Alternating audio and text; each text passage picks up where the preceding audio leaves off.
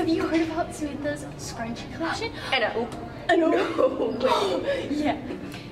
I just, I can't believe it. I can't Man, I saw her. Do you want to hold my hydro flask? for Oh, me? yeah. Have you seen mine?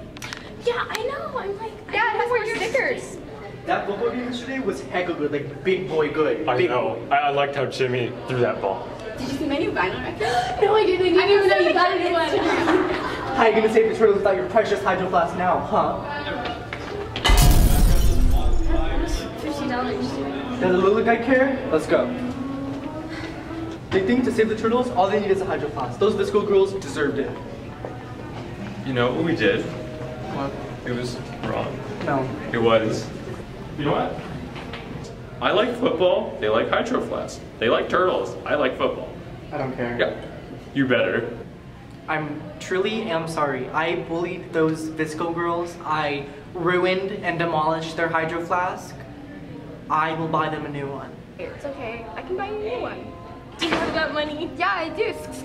No need to buy a new hydro flask. I got you one. And I, and oh.